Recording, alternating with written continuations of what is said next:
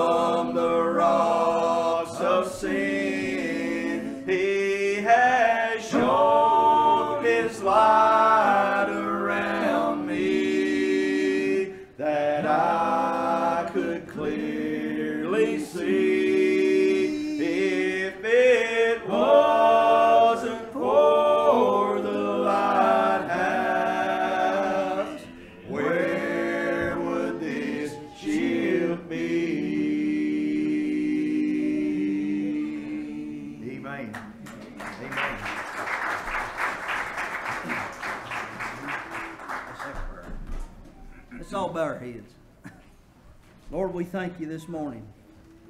God, for your spirit.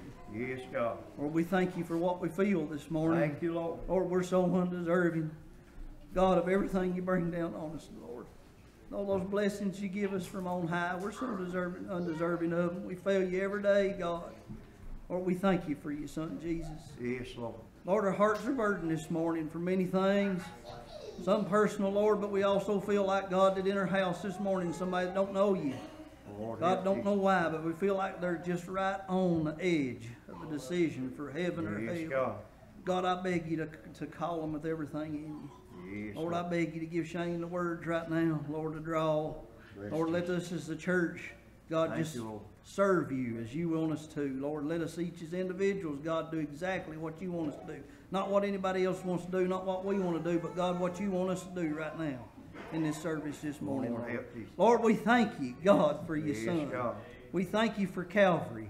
Yes. We thank you, Lord, as Brother Jim's read this morning, God, that you had the plan in effect, Lord, even before creation. God, we thank you for that. We thank you for one of the one of the ones, God, that's been called, dear Lord. Lord, and, and we know, God, that everybody's got that chance. Everybody here under the sound Lord. of her voice has that chance this morning. Thank you, Lord. God, we ask you to give them another one. In Jesus' holy name we pray. Amen. Amen. Amen.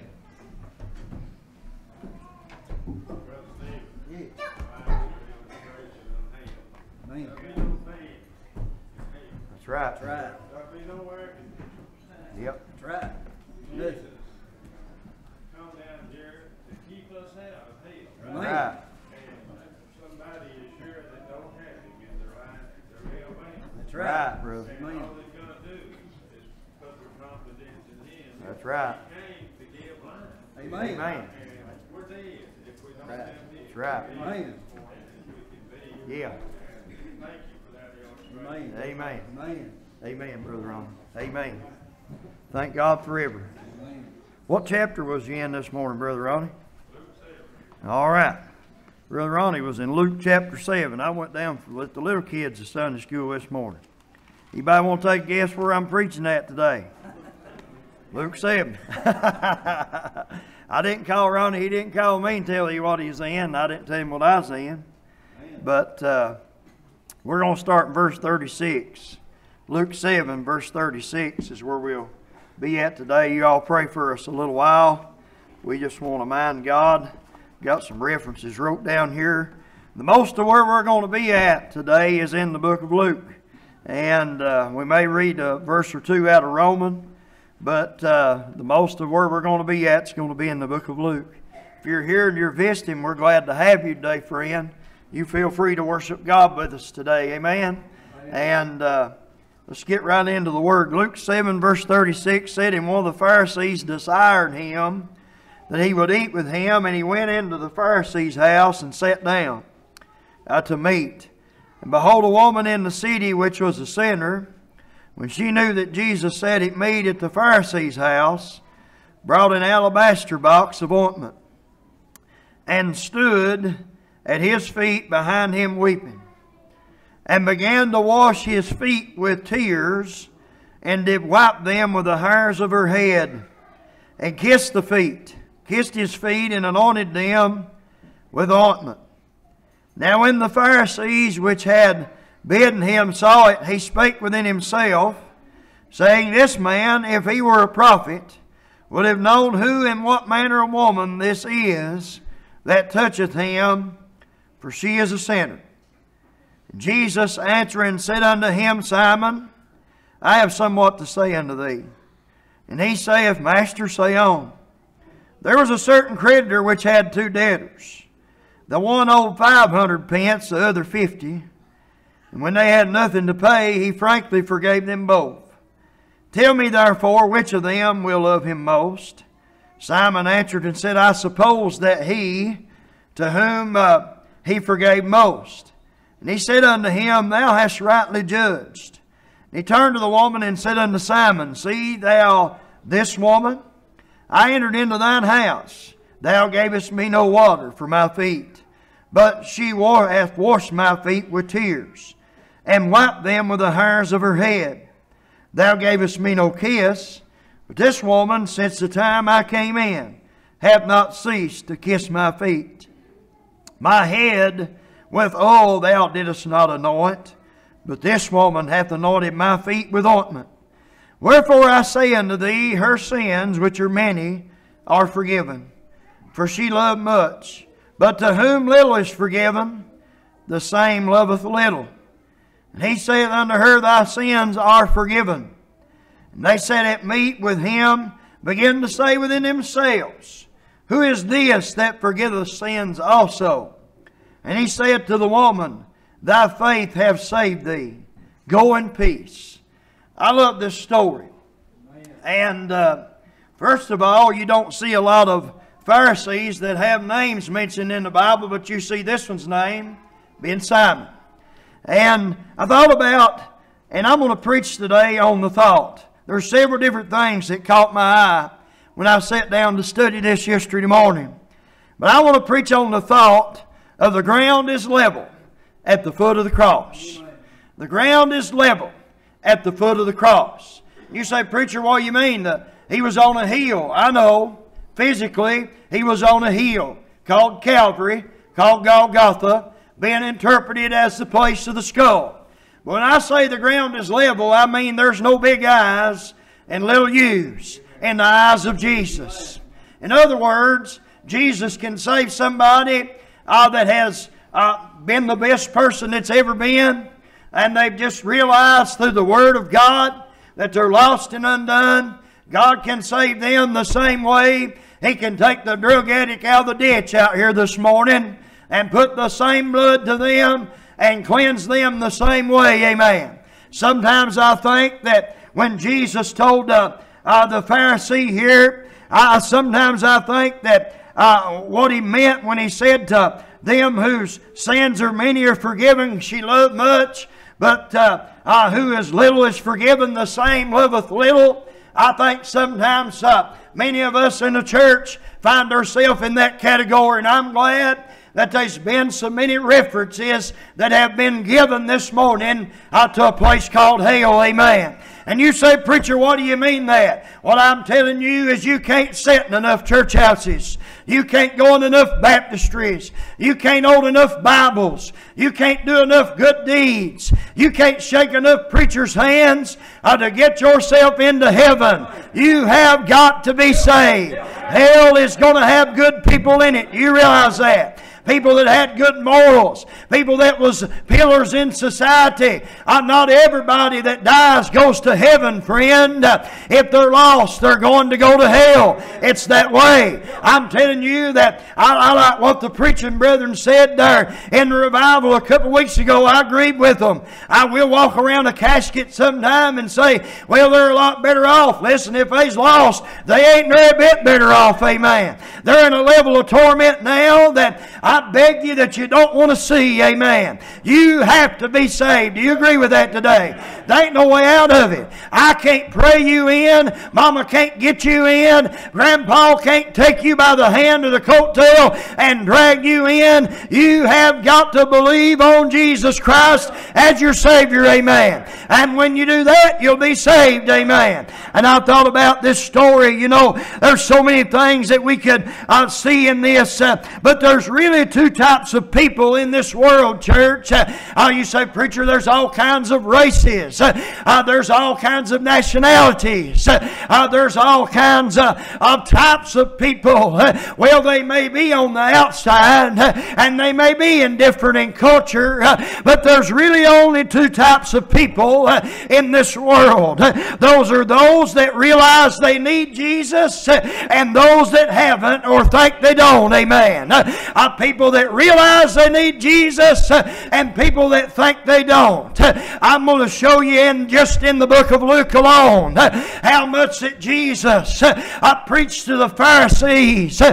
uh, because of who they thought they were. Amen. Uh, uh, they kept inviting Jesus for dinner, uh, and we're going to see it in this scripture just in the book of Luke alone because they felt like, brothers and sisters, in their eyes, they believed if he was from God, he was going to keep their customs. Amen.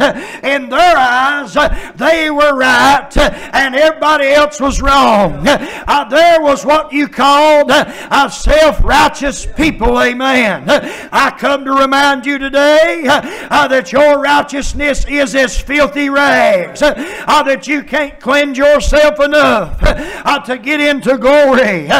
You've got to be saved. The blood has to be applied. You must be washed from your sins. Uh, His righteousness is the only thing that will make you worthy uh, for the kingdom of glory. Amen. And you're given it by the grace of God. Uh, so let's look at what happened. Uh, starting in verse 36. Uh, this Pharisee Simon I desired him that he'd eat with him. And he sat down in his house. And here come this woman behind. And the Bible said she was a sinner. Everybody knowed her lifestyle.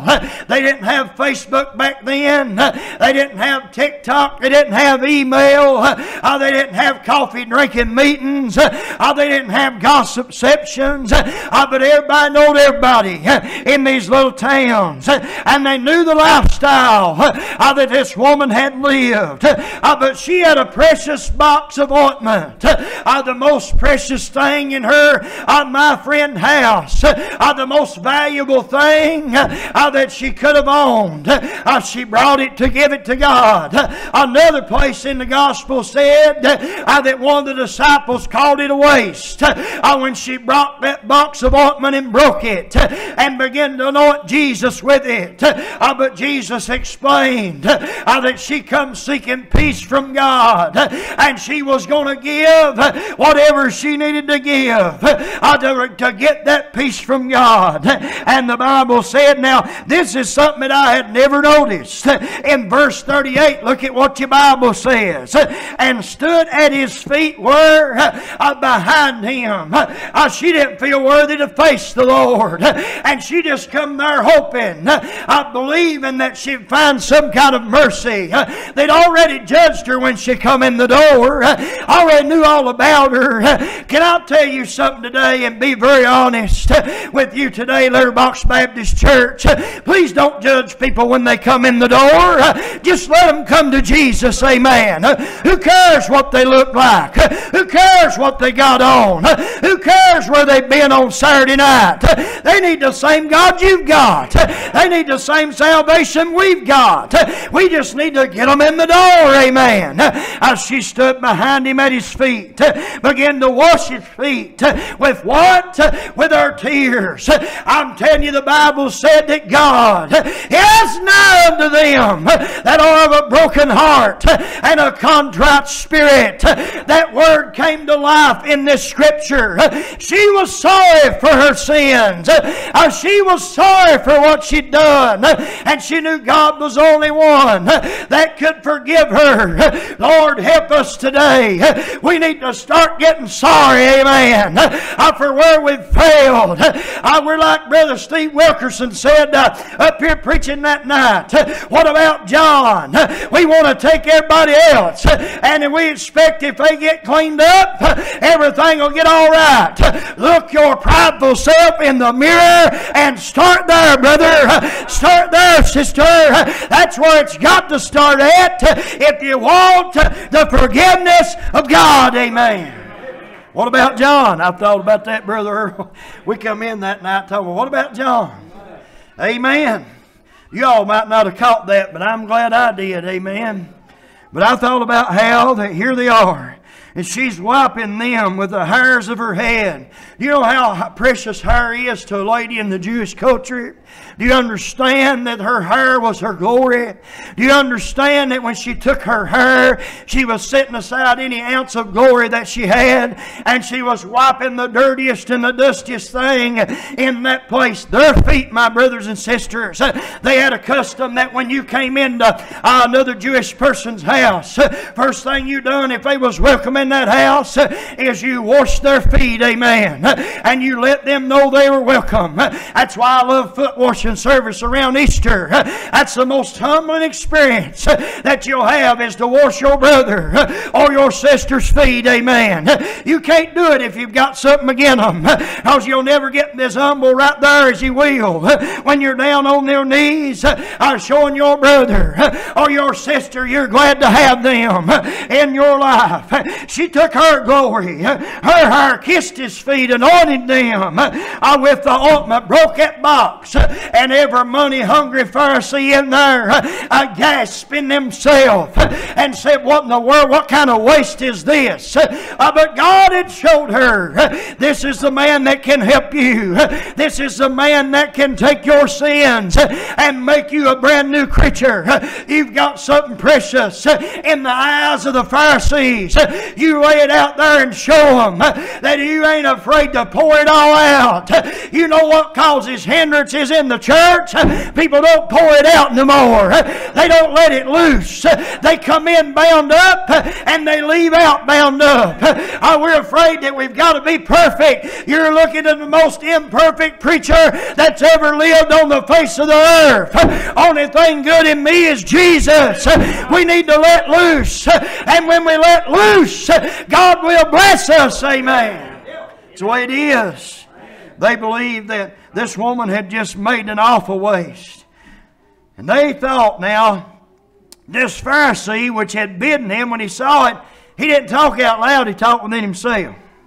Boy, I'm glad I can't read y'all's minds. Ain't you glad you can't read mine? Sometimes your face is tell on you, though, amen. My face tell on me sometimes. Sometimes we do. But I thought about how that Jesus knew what he was saying, and and he said, he thought then, so if it's a prophet, he'd have known this woman was a sinner. He wouldn't have let her touch him. He wouldn't have let her associate with him. He wouldn't have let her into his circle. What in the world? I invited him in here for dinner, and this man's made a sinner a guest. I'm glad Jesus made a sinner a guest one day. Somebody wasn't worthy to sit at his table. I said, Here I've got you a spot. I'm telling you, he's got us all a spot, amen. He ain't worried about her past. He wants to see you for the future, amen. He wants to see save ye. And Jesus answering and said, Simon, uh, this Pharisee named Simon, I have somewhat to say unto thee. He said, Master, say on. There's a certain creditor which had two debtors. Uh, the one owed 500, the other 50. When he had nothing to pay, frankly forgave them both. Tell me therefore which of them will love him most. Maybe that's why Brother Paul made such a preacher, amen. Uh, he said, I was chiefest among sinners. He knew what Jesus done for him. How can I tell you, church, if you want revival, I mean personal revival. Look right down at today when Jesus pulled you up out of sin and saved your soul. Look what he's done for you. He's good to you, amen. You got no reason to hold your head down. You got no reason to fear. Perfect love casteth out fear, amen. I get in your heart today a love for Jesus Jesus that He has for you. Amen. Anybody got been good to this week? I was able to get in my car and drive to this church. In eastern Kentucky, there's places where they don't even have a church building left. Thank God we do. Amen. They don't even have a car to get and got shoes to put on. We're more blessed than what we realize. Amen. And I thought about this. Simon answered, he knew. He said, Well, the one that I suppose is the one that had the most forgiven. And he said, Thou hast rightly judged. And he said, Now you see this woman, Simon. I'm paraphrasing. I entered into your house. She gave me, she, thou gavest me no water for my feet. Thou gave, but she's washed my feet with tears and wiped them with the hairs of her head. She completely humbled herself, Simon. Thou gavest me no kiss. This woman, since the time I hath not ceased to kiss my feet. She didn't feel worthy to kiss him nowhere else. Kissed him on the feet. You know that Jewish people would greet each other with a kiss. You know the Bible says greet, greet your brethren with a holy kiss. Buddy, I used to go to church with a guy. Every time I was preaching revival somewhere, he'd show up. Amen. He was a ditch digger. He worked in the he worked in the uh, in the gas lines. He'd come right out of the ditch, my friends, and come right into church, and he'd latch right around you and him dirt and hog, and give you a big kiss right there. You know he was there when Herbie came in. You was going to get kissed. Amen. He loved that scripture. I tell you, I, I heard Wayne House say one time. He said, "You get on a plane and fly to Australia and." Parachute out and find the nearest church, and Herbie Scalf would be sitting on the front seat. That's the way he was. He loved to be around God's people. Went out one evening to feed his horses. His wife got to meeting, and got to missing him, and he laid there. And he just fell over with a heart attack and died. I tell you, I, I don't know uh, what it's going to be uh, when God raptures this soul from this body. Uh, but I can just see him giving Jesus a kiss, amen, and wrapping mercy. I just wrapping around the arms of the one that died for the sin of mankind. I tell you, Jesus, my friend, He ain't here to judge you. He's here to save you, amen. And He'll pull you up out of whatever it is that's been wrong and set your feet on a solid rock and establish your goings. Uh, the ground is level at the foot of the cross. He'll save you just as much as He will Billy Graham, amen. He'll save you as much as He will of the person in the prison. It's level there. And Jesus loves all that will call upon Him. Amen. That's why He said, Whosoever will, let him call.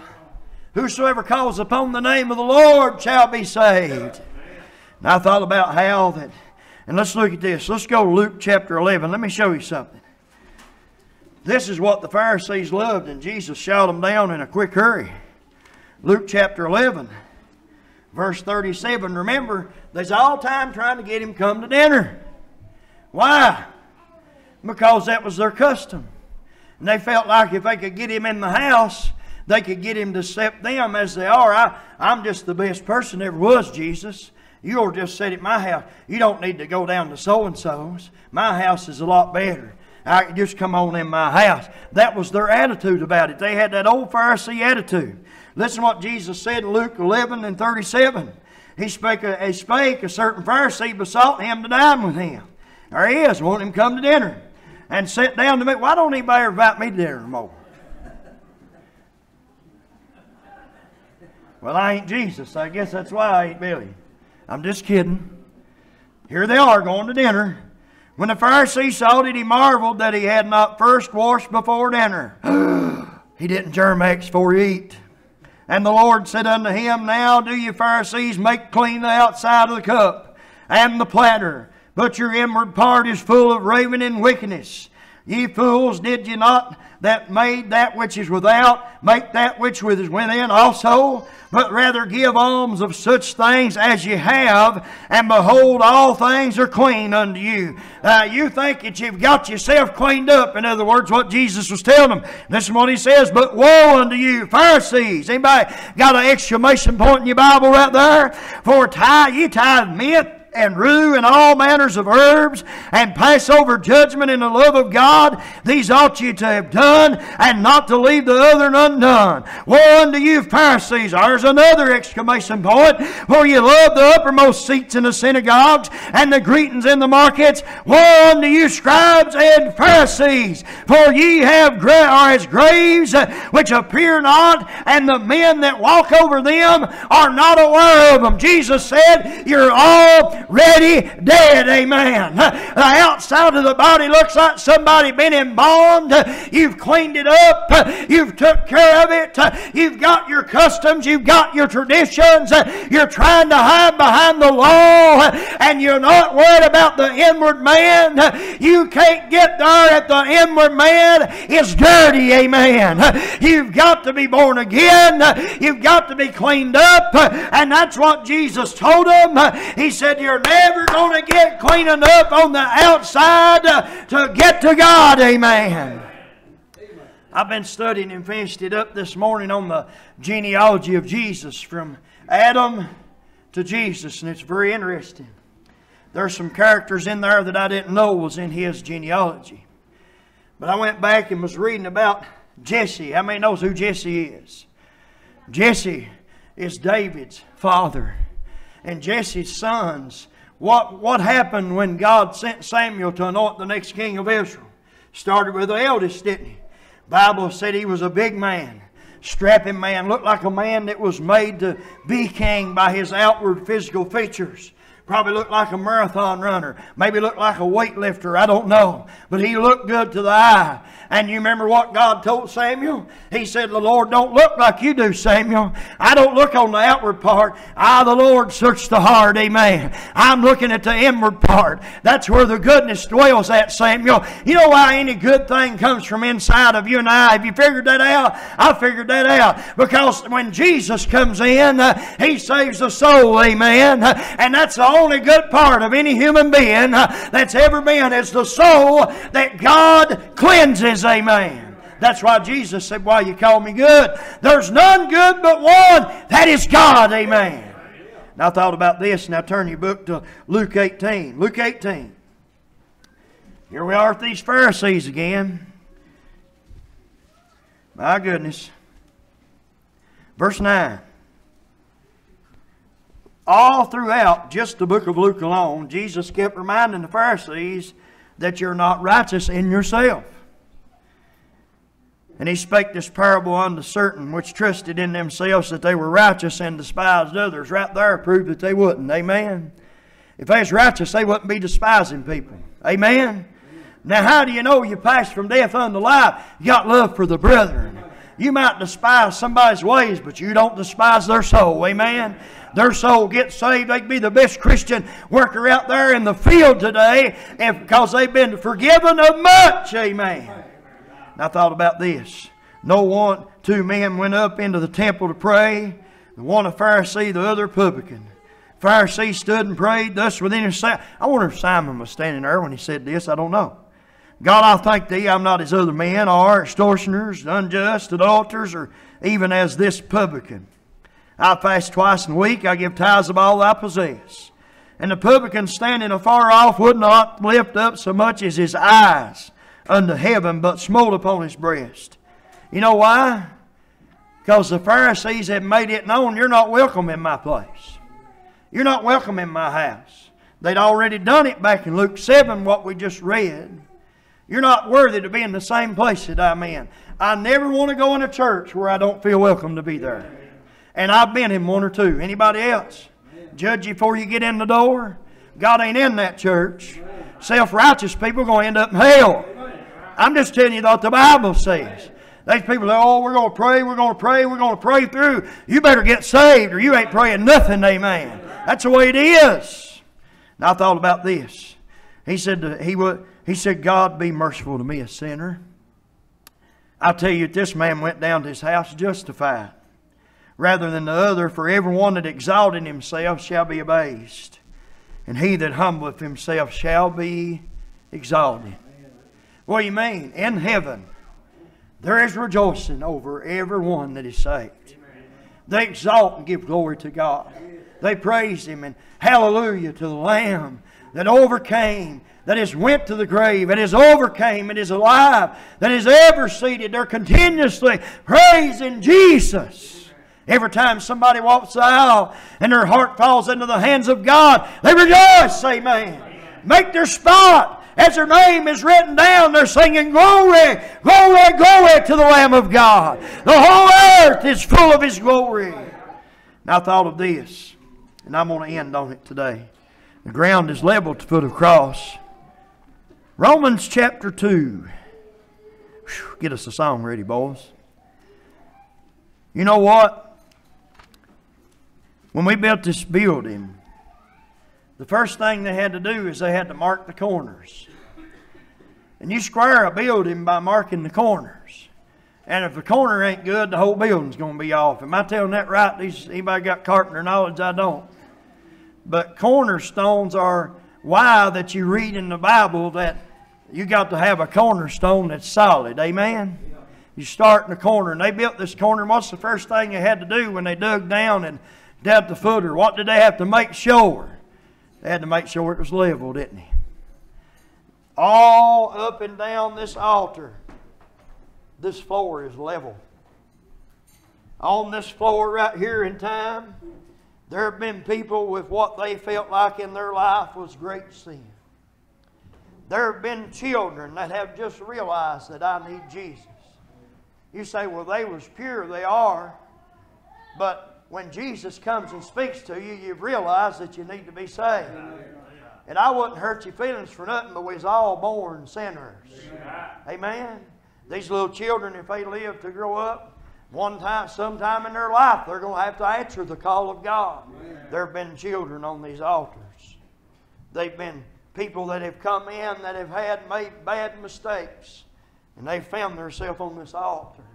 They've been people that's come in that's had family that's broke their heart, and they found themselves on this altar. They've been people that have came in that's had great sickness in their families, and they've found themselves at this altar. Brother Earl, that's pretty level through there, ain't it? Right in there, anybody. There's room, anybody can get down on this place. It's level, amen. The ground is level at the foot of the cross. And what does it say in Romans 2 and 11? For there is no respect of persons with God. I saw something yesterday that touched me. Whew. Oh my goodness. I saw a little thing there, Billy Graham, and he was preaching. Billy Graham, like just a few days of being a hundred year old when the Lord called him out of this life. And I, they kept showing a prison. And these prisoners was making a casket. They was making a casket, and I thought, what's the gist of this? And they kept on showing Billy Graham preaching back in his heyday when he was a young man, Coliseum's full, people running down to the altar, salvation coming in. And They kept showing this casket, and here's these prisoners in their orange suits. This one guy, he had a paintbrush, Brother Billy, and he had some stain. He said, I ain't worthy. Can't believe Billy Graham wanted us to build his casket. He was crying. He said, I ain't worthy to do this. Jesus died for that man, just like he did Billy Graham. The man that built his casket. The soldiers that strung Jesus up on the cross. He died for them. Their sin was paid for that day. See, what we soon forget a lot of times is our sins have already been paid for. The debt is paid. You are bought with a price. Every time he'd that, a tear would fall. I don't know why he wanted us. I don't know why he wanted us. Probably one of the prettiest caskets you ever laid your eyes on. Oh, it's beautiful. They put everything they had into it to get the man of God in the ground. Can I tell you, there's just as much rejoicing in heaven over a prisoner that's saved than they are a preacher when he got saved.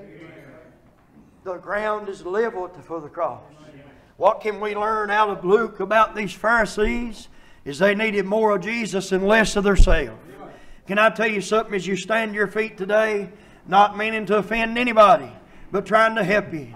You need more Jesus and less of yourself. Amen. You need more of Him and less of yourself. When you realize that this life is like a vapor, it appears for a little time and it's gone, amen, then you'll realize I need more of Jesus and less of myself. Oh, but I'm going to a country whose builder and maker is God. I'm going to a place that He has prepared for me. A place I don't know what it'll be like when my feet step on that street that's paved of solid gold. I'm just glad I'm going to have feet that won't hurt. Amen. And I really believe the most precious thing in heaven is not that gold. It's not all the stones and pretty jewels that it talks about in the book of Revelations. I believe the most precious thing in heaven will be all the souls that's been covered by the blood. If we was to have a wedding right here today, the most precious thing here would be the bride. She'd walk down that aisle and be presented to her groom. Why is it going to be any different in heaven? I'm part of the bride of Christ. I'm going to get presented one day. How about you? People say, well, ain't never nobody done nothing for me. You ain't never met Jesus. We forget He's done more for us than we ever really deserved. He's given us more blessings than we can ever count. God's awful good to us, friend. The ground is level. Ground is level at the foot of the cross. Come on. Come on and say. Come on, pray. Come on and pray. Pray. One for another, pray. For those that are lost, pray. For those that need help, pray.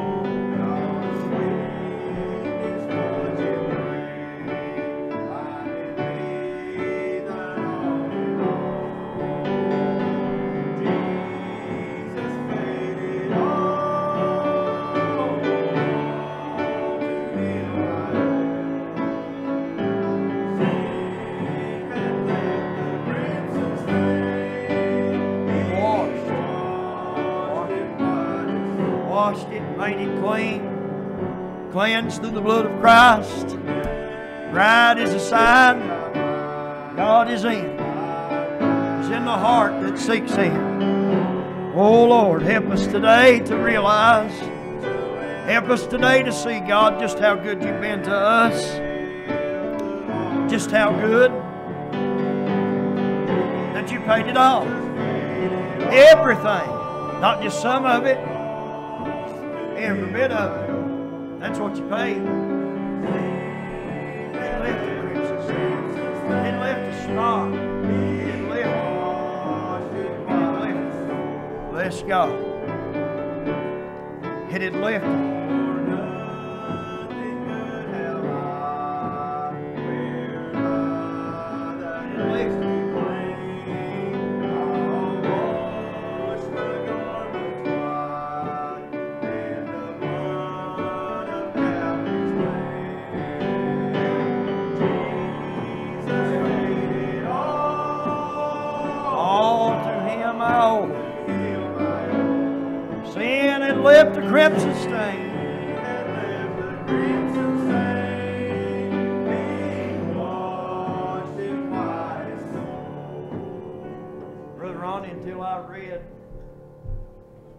That lady and her hair, I just really had never realized just how humble she got that day.